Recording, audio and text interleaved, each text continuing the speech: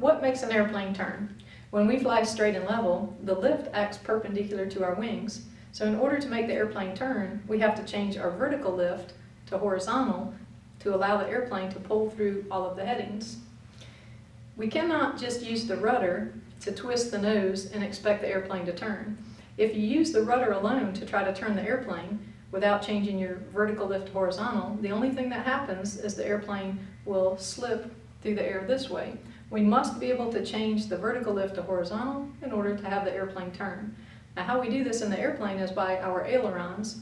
The ailerons, remember, are located on the trailing edge, on the outside trailing edge of the wing on both sides. And the ailerons work opposite of each other. One goes down while the other one goes up.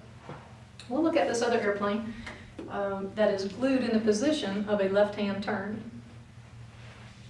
If you turn the airplane, the yoke to the left, this aileron will come down and this aileron will go up.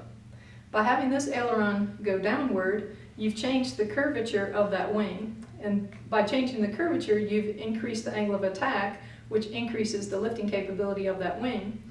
On the other side of the wing, you've actually disrupted some of your airflow across the wing. So when this one comes up, you reduce the amount of lift on this wing, causing it to drop. The increased lift on this wing causes it to rise. Now we're going to talk in a minute about uh, adverse yaw created when the downward deflected aileron creates drag and pulls the nose in the opposite direction. But first let's talk a little bit more about uh, when the airplane turns. If we're flying straight and level, like I said, the vertical lift acts perpendicular to our wings, and the opposite force would be the weight of the airplane where gravity pulls us downward. When we bank the airplane, we start to lose our vertical lift and it becomes more horizontal, allowing us to turn. We still have the weight of the aircraft.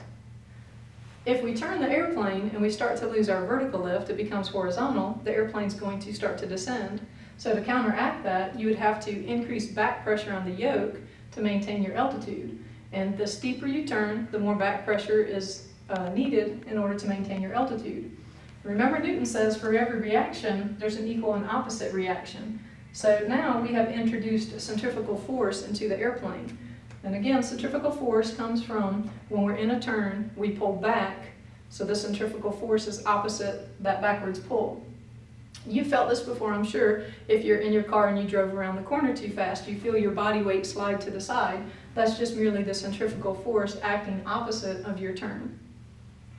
To elaborate a little further about the adverse yaw, like I said, this airplane is glued in a position to make a left-hand turn.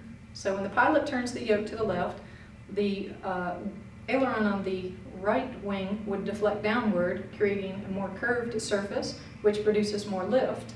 But as everything in life, with something good, there comes something bad. So when that aileron is hanging down in the wind, it creates drag. Think of sticking your hand out of the car window, how it gets pulled backwards. The same thing happens when the aileron is deflected downward.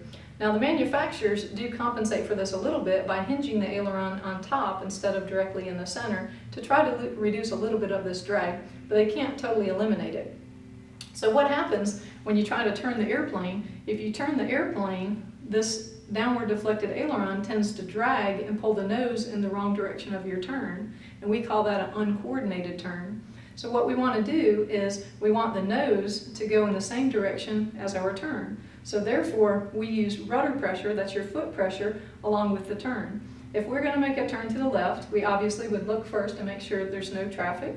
We clear left, and then you proceed with applying left rudder and left ailerons together to make the nose of the airplane and the wings turn in the same direction. Now I said that that's a coordinated turn. Let's see what happens when the turn is not coordinated. One of the instruments in the airplane is called the turn coordinator, and we can use this turn coordinator to evaluate the quality of our turn. The turn coordinator has a little ball that can move freely by centrifugal force.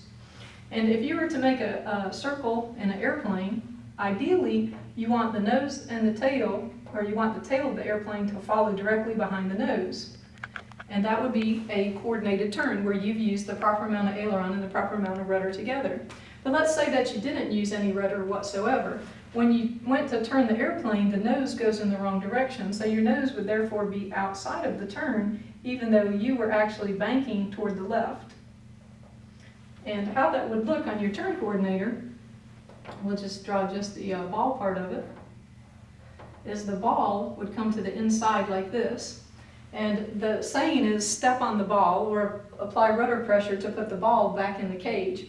If you had applied rudder pressure, left rudder pressure, it would push this little ball back into the center and realign your tail behind your nose, causing a coordinated turn, and that's what we're looking for. Let's say that you got a little overexcited and you pushed too much left rudder um, in relation to the amount of ailerons you used. In that scenario, um, your nose would go inside of the turn before the wings actually began to turn.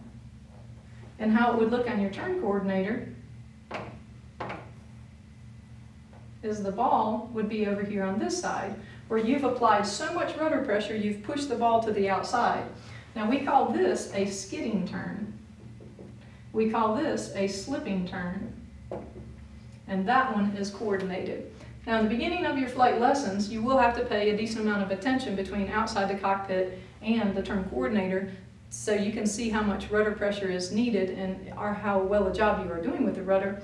Um, but later on, as you proceed through your flight training, it should become a natural instinct. When you make a turn, you want the centrifugal force, that weight, to go straight down in your seat. You never want to feel like you're sliding out of your seat. You always want your the um, your weight goes straight down in your seat to be a coordinated turn. Now, we have to look a little further at left turning tendencies and how we're going to have to use the rudder pressure to keep us coordinated while we're climbing, straight and level, and descending.